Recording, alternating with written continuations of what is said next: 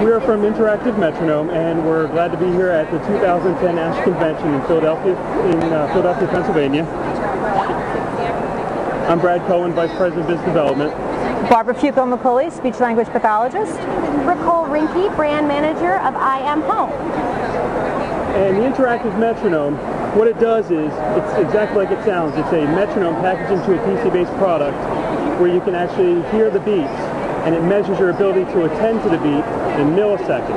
And it's crucial that it actually gives you that feedback in milliseconds as far as if you're before, behind or, or, or ahead of the beat, because that's really where speech generation recognition occurs at the millisecond level. If you look here on the screen, I'm going to start the activity.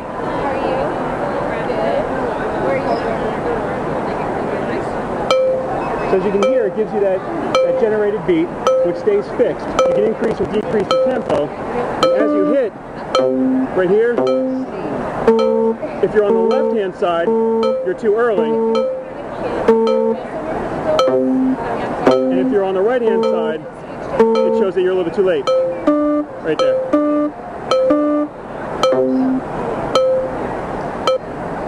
Can help for people in the speech language field is that it helps work on the temporal sequential processing, which goes across the uh, broad spectrum for anything that a child or an adult may have that may be uh, seated, rooted in that section of the brain. Therefore, they would be able to improve uh, oral fluency, rapid naming, reading fluency, reading comprehension, their ability to synthesize sounds together, to hear them as words would help their reading comprehension.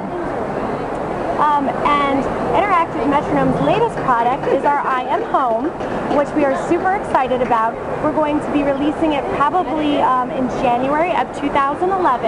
It is going to give the patients, or the clinicians, excuse me, an at-home reach-for product where they can actually go online and prescribe a treatment plan for the patients to do.